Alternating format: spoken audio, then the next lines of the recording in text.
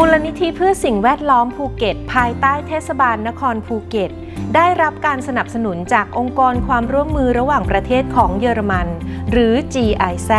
ซึ่งได้รับการสนับสนุนจากสหภาพยุโรปหรือ EU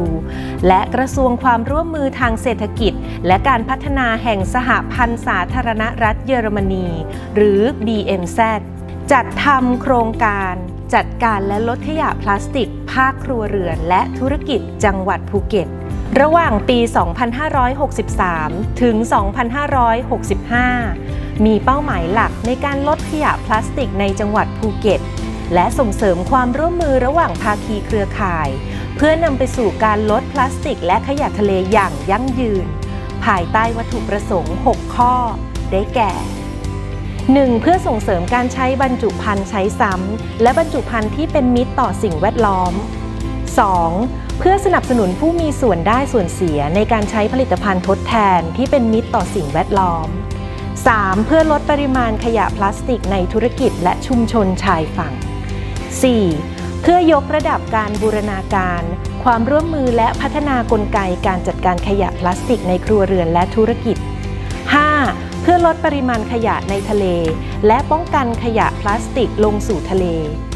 6. เพื่อทำงานร่วมกับหน่วยงานราชการในท้องถิ่นในการพัฒนาแนวทางการจัดการที่เหมาะสม ในการลดขยะพลาสติก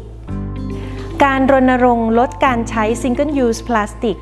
ผ่านการใช้ปิ่นโตและบรรจุภัณฑ์ทดแทน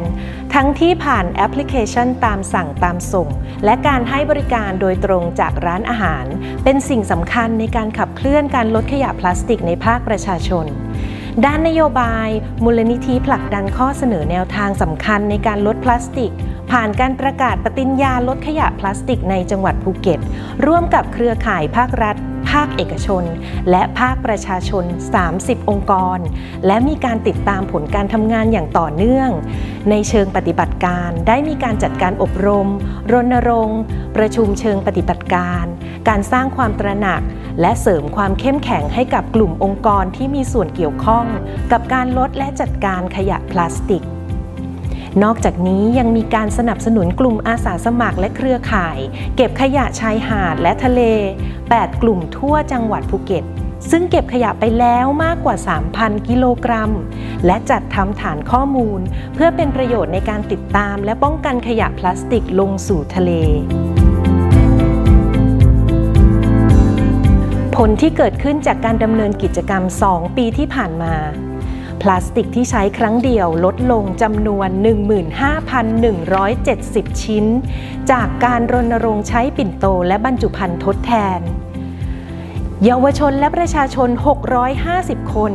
ได้รับความรู้และเกิดความตระหนักเรื่องวิธีจัดการพลาสติก ในโครงการให้ความรู้ Less Plastic Phuket ร้านอาหาร 45 ร้าน เปลี่ยนมาใช้บรรจุภัณฑ์ที่เป็นมิตรต่อสิ่งแวดล้อม เกิดข้อเสนอเชิงนโยบาย 9 ข้อ ระหว่างภาคีเครือข่าย จาก 30 องค์กร ซึ่งมาจากภาครัฐ เอกชน และประชาชน และประกาศเป็นปฏิญญาลดขยะพลาสติกของจังหวัดภูเก็ต มีผู้เข้าชมสื่อออนไลน์ เพื่อสร้างการรับรู้เกี่ยวกับปัญหาขยะพลาสติก และขยะทะเลมากกว่า 28,000 ครั้ง ร้านค้า 111 แห่ง ได้รับบรรจุภัณฑ์รักโลก เพื่อลดการใช้พลาสติกในร้านอาหารจำนวน1150 ชิ้น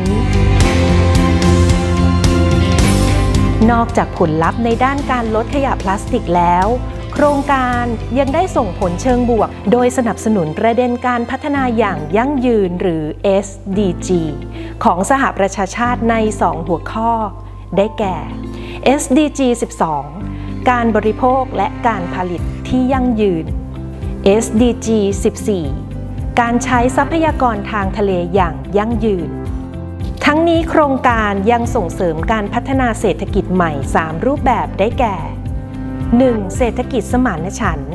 จากการร่วมมือกับแอปพลิเคชันตามสั่งตามส่ง สนับสนุนโดยจุฬาลงกรณ์มหาวิทยาลัย และสสส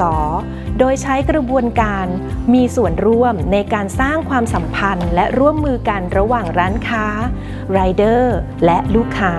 เพื่อให้เกิดการตกลงราคาค่าบริการอย่างเป็นธรรม 2. เศรษฐกิจสีฟ้า ส่งเสริมการจัดการขยะทั้งทางตรงและผ่านข้อเสนอเชิงนโยบายในจังหวัดภูเก็ต บนรากฐานของการพัฒนาการท่องเที่ยว ควบคู่ไปกับการอนุรักษ์ระบบนิเวศทางทะเล ถือเป็นแนวทางในการพัฒนาเศรษฐกิจในกรอบของการใช้ทรัพยากรทางทะเลอย่างยั่งยืน 3. เศรษฐกิจสีเขียว ส่งเสริมการใช้วัสดุที่เป็นมิตรต่อสิ่งแวดล้อมในธุรกิจ Food Delivery ผ่านแอปพลิเคชันตามสั่งตามส่ง และการใช้ปิ่นโตหมุนเวียนที่ร้านอาหาร ส่งเสริมให้เกิดการสนับสนุนผู้ประกอบการที่ใส่ใจต่อสิ่งแวดล้อม และนวัตกรรมที่ลดขยะและมลพิษอย่างแพร่หลายในสังคมมากขึ้น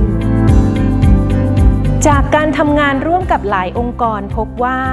ปัจจัยที่มีผลต่อความสำเร็จของโครงการ